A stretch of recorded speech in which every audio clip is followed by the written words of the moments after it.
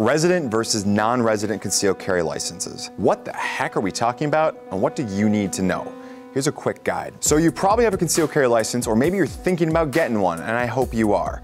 If you are getting one for the state where you reside, that is what we call a resident concealed carry license. Why? Because you are a resident of the state and you're getting the concealed carry license for that state. But maybe you want to travel, maybe you want to drive through other places or just fly to a location and you realize, look, You've checked it out at uscca.com forward slash laws.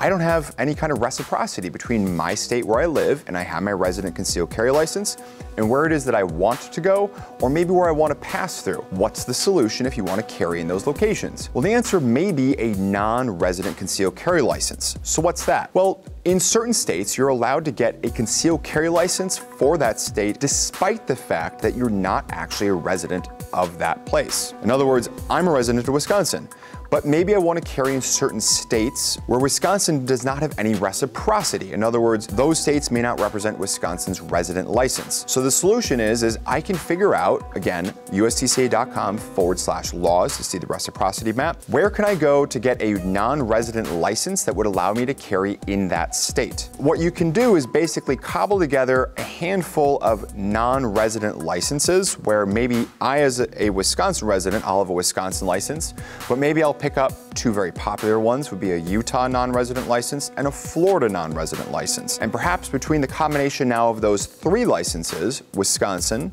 Utah, and Florida, I can now carry in a vast amount more states than I could if I only had my Wisconsin license.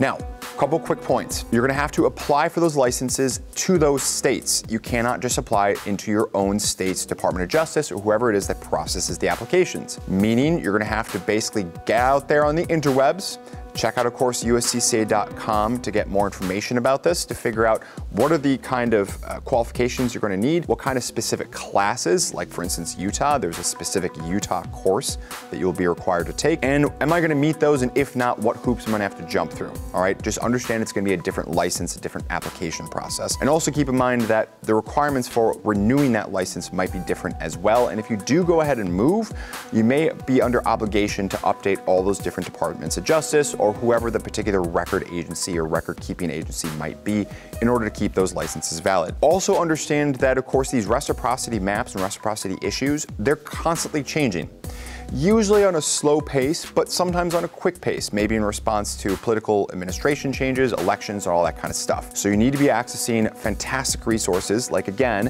uscca.com forward slash laws to keep yourself up to date and, of course, always, always, always for the definitive answer, go to the particular state's Department of Justice to learn about what's the exact up to the moment updates and laws about what states they're going to be recognizing. But you need to pay attention to the fact that sometimes states will bifurcate. They'll draw a distinction between, well, we will recognize the resident license from this state, but we do not recognize, for instance, non-resident licenses, period. There's a couple states like that out there, so you need to pay particularly close attention because maybe if you just go on a map, look, it looks like you're gonna be okay, and you don't notice the fine print of, yeah, this particular state you're interested in going to and carrying in only recognizes resident carry licenses. So what are a few of the best non-resident licenses that you can get? Well, I already mentioned two of them, Utah and Florida.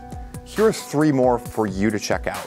Virginia, New Hampshire, and Maine. And hopefully between the combination of those five plus your resident concealed carry license, you'll be able to travel everywhere you want, safe and armed with knowledge against the laws. So thanks for sticking around this long, and as a special treat for those of you who have, we have a special giveaway going on right now. It ends really soon. You can actually win something pretty cool that you probably have and you probably want more of. Can't tell you what it is, but it goes in a holster, you may carry it around, and it punches remote holes in paper. Hopefully that's enough clues. Check it out in the description box below to see what you can do to win. My name's Tom Grieve, and we will see you in the next one.